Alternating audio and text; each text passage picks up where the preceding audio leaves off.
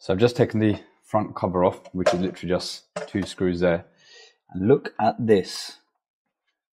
The earth's not even been connected. It's meant to be on there. But this whole unit has not been there. So if there was ever a problem, it will be a big problem.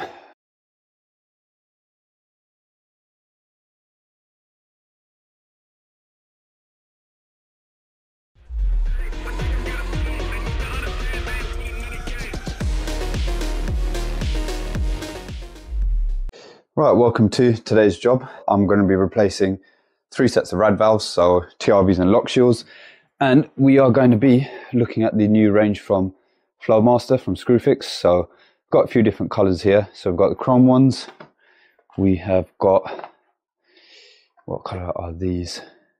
Oh, I think this says it's the chrome ones. Well, I've got three different colors anyway. So there's chrome, white, and anthracite. So we're going to be trying all three out. Three sets of TRVs and lock to change. Luckily, we are on a combi, so I'm going to isolate the and returns on there, drain the pressure out of the system, set up my little workstation on each radiator, and get these rad valves changed. Okay, so pressure's been taken off the system. I've just isolated the flow, and I've isolated the filter valves on here, and the drain was a little bit tricky to get to behind there, so I'll just drain it out through the filter. Let's just nip that drain off back up. So now, obviously, there's still going to be water in the system, but it's not under pressure anymore. And that pretty much stopped draining. And it looks like uh, we are on drops. Yeah, it looks like it drops down. There's an AAV at the back there. Hopefully, shouldn't be too much trouble getting these replaced. Well, not the rads, the rad valves. Let's get them unboxed. Let's get ourselves set up and let's get some rad valves replaced. Okay, so these are the three sets of Flowmaster TRV and lock shields I'm going to be replacing. Now the good thing is the TRV bodies are all chrome. It's the heads that are just the different colors, which makes it a little bit easier. So it means that you don't have to necessarily worry about changing the whole thing. You can replace the valve bodies and you can just put the new head on as well. So it will still keep in line with the color theme that you want to go for obviously on these ones, I haven't decided what color I'm going to put in. I'll probably do the white on this one, and then we'll use the anthracite one in the living room, and then the chrome one in the bedroom. Yeah, like I said, the good thing is we've got the TRV bodies are all chrome, so we're not going to have any issues with that. And then you can obviously, in the future, if you ever wanted to chop and change the heads, you can just get different color heads to match whatever color radiator you want to match it up to. Pressure's off. Let's get this one done first and then we'll do the lock shield as well on this side.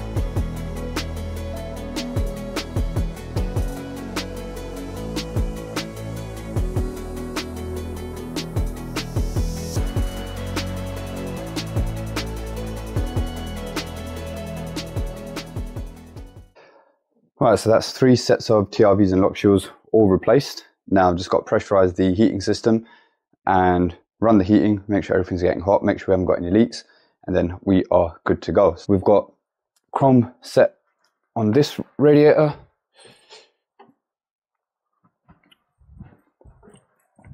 Gone for the, it comes with a chrome lock shield and anthracite head. That one. And then gone for the white on this side as well. I've made sure all the valves are open, I'm going to repressurize the system and then we'll just test it all, make sure everything's working. I know it's a bit dark, but boiler's up to pressure.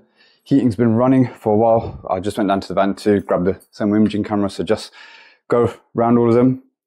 We've got heat coming through. That's working its way across on that one. That one is hot all the way across. And the last one, yeah, hot all the way across. As through the radiator valves changed, both TRVs and lock let's turn the heating down now because it's not a massive flat, so it gets hot really quickly. And literally, I'm just going in and out of the flat just to go to my van and back. I'm already sweating. Turn the heating down. Everything's been tested. Everything's been getting hot, and we're done. So catch you in the next one. So this next job I've got is to replace this Ariston. What was that? Oh, just hit that. I've got to replace this Ariston water heater, and it is kind of, in, well, it's installed better than the last one that I've done, but yeah, you can see that vessel is right up against the side of it. So I'm going to be replacing the vessel and changing the orientation of it, changing the PRV. I also need to change the switch as well because that's cracked and busted. I've killed the power. A fuse box is literally just there. That's killed the power to that. I'm going to take this off first, replace the switch, sort out the vessel, and then hang the new one on.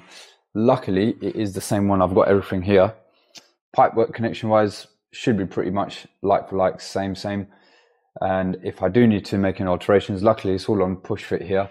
I'm guessing because I'm this is a commercial property, I'm guessing you can't do hot works here. If I need to, I've got my press gun, which is another bonus of having a press gun. It means you can work in situations like this where you may not have a hot works permit and you don't want to be setting off the alarm and emptying the whole building. So first things first, we do have a little boiler fix uh, just there. And that goes through the wall. There's a kitchen on the other side of a little kitchen there. I can't find if there's a stop stopcock anywhere else, but I'm going to isolate from there and then get this disconnected, get the electrical electrics disconnected, get this off, and then get the new one on and go from there. So I've just taken the front cover off, which is literally just two screws there. And look at this. The earth's not even been connected. It's meant to be on there but this whole unit has not been earthed. So if there was ever a problem, it will be a big problem. Need to make sure that we renew that. Have I got enough? Yeah, there's enough slack on the cable for the new one as well, so that should be okay. But yeah, that is a definite boo boo by the last person to install this. But we'll make sure that we don't do that on the new one. And also, I just want to make sure this is a 15 litre one. Yeah, 15 litres, because uh, that's what they've asked me to bring let's get the electrodes disconnected, get the water turned off and disconnected from here. Then I can take this off and I can work out what I need to do with the vessel. I've just drained the old one out and you can see there's a lot of rusty water that was sitting in there. Now, luckily, this one, because the pipes are coming from above, I can lift it off without any water draining out. The last one I did, because it was the 30 litre one, the tails were, or the connections were from underneath. And I completely forgot that it holds 30 liters of water. So I undid the connection, popped it off, and then water starts coming out. Quickly get got a rubber bag and popped underneath. But this one, luckily, I was able to lift it off and then tip it upside down, empty it out of it. Because remember, that one is still going to be holding 15 liters of water. So it's a bit heavy, and I'll, I'll show you the journey to get to the van to up here missions.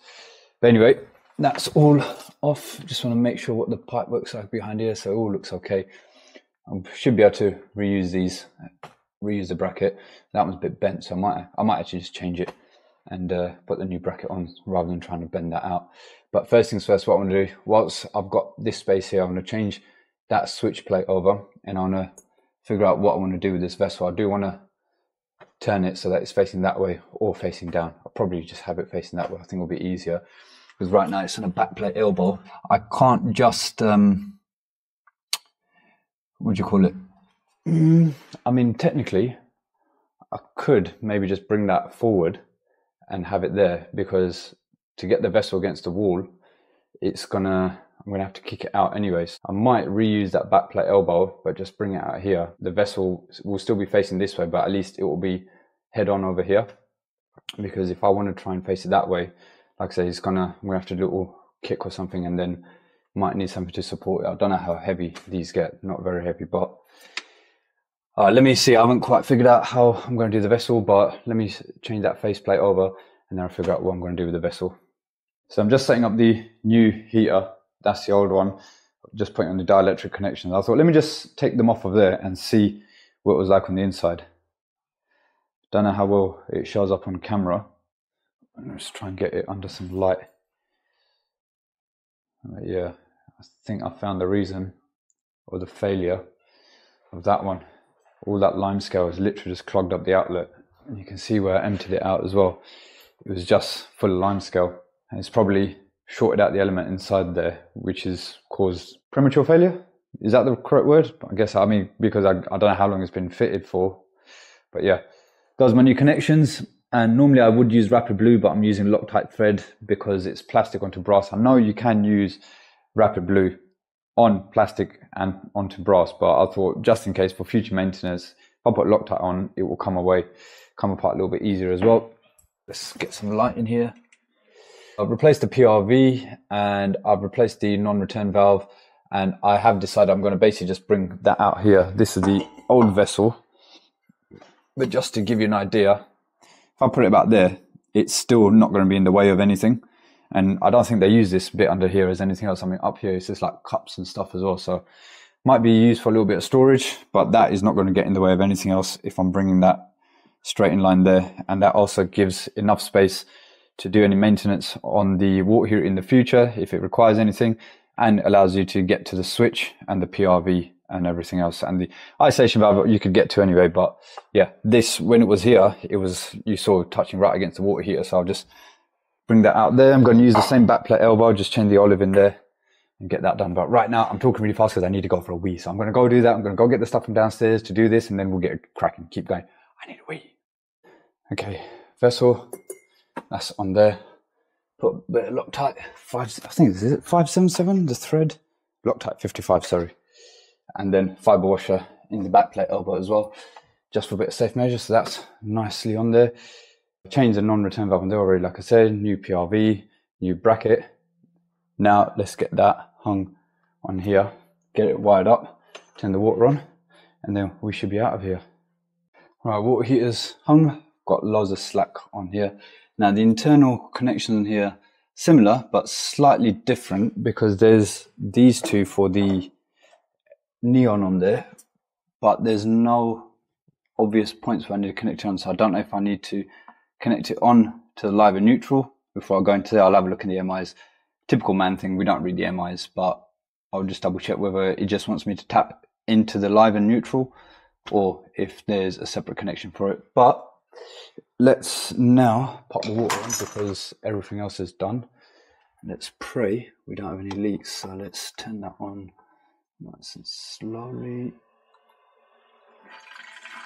Obviously, the water heater's got a that's got to fill up as well. 15 liters. So far, so good. No leaks on there. No leaks on the vessel side.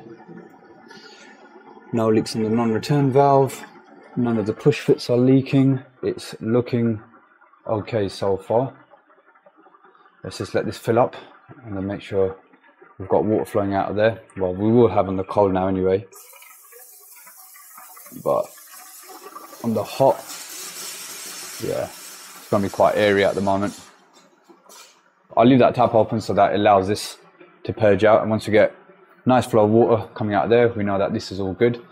And then I can just, in the meantime, I'm going to just crack on with the wiring. Well, that didn't take long. Literally, I stopped recording sat down to have a look at the instructions and that started flowing. So turn that off. So that's now under pressure. It's completely full of water. I can now start doing the wiring. And yes, with the neons, it just wants me to tap into the live and neutrals on the connection of this. I'm gonna get that done, obviously. Remember to earth it this time. Get all that done, turn it on. It might start getting warm whilst I'm packing up stuff just to give it a test. I'm not sure, but we'll see.